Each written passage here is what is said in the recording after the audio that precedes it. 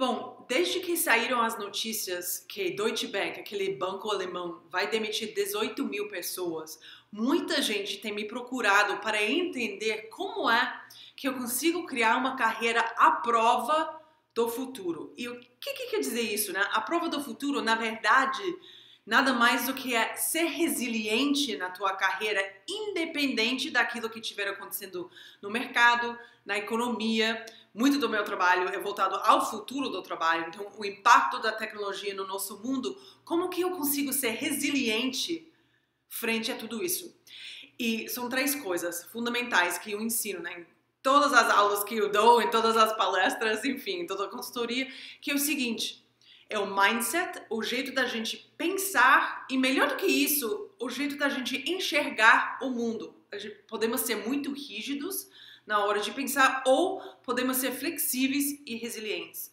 A segunda parte é educação e a terceira é colaboração. Então, como que a gente vira essas três coisas para criar uma carreira à prova do futuro? Primeiro, com mindset, o jeito da gente pensar tem uma distinção fundamental, que é a distinção entre ser cativo às suas circunstâncias, a economia, o mercado, o chefe, essas coisas, ou é entrar na cadeira de capitão e ser protagonista do seu próprio destino. E, e como que isso funciona? Em 2008 eu me formei do meu MBA e muitos dos meus colegas, na última grande crise financeira, muitos dos meus colegas que tinham oferta em banco de investimento, aquela oferta foi rescindida. Então, frente a, a, todo o medo, porque achavam que tinha a vida, a carreira totalmente planejada pela, pela vida toda. As pessoas que conseguiram fazer a pergunta fundamental que é, dado tudo isso, que não dá para mudar o fato que os bancos estavam quebrando, é, dado tudo isso, o que, que eu quero criar? e sendo protagonista e capitão dos seus próprios destinos, conseguiram se realocarem mais rapidamente e sofreram menos. Então, esse negócio de ser resiliente e ser protagonista é fundamental. Segundo, é educação.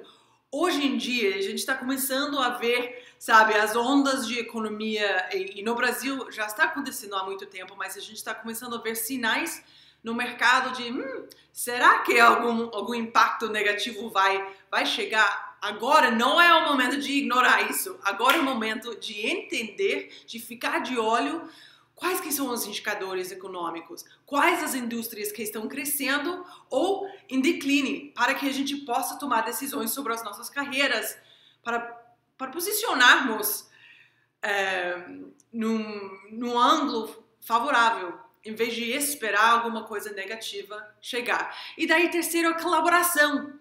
Não vai dar para ser bem sucedido, nem resiliente, nem ter uma carreira de muito sucesso sem colaborar com outras pessoas.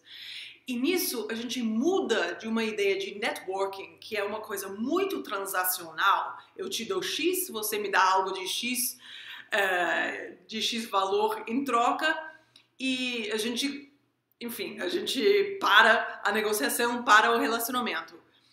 A gente muda desse negócio de networking para uma coisa mais interessante que é criação de comunidades.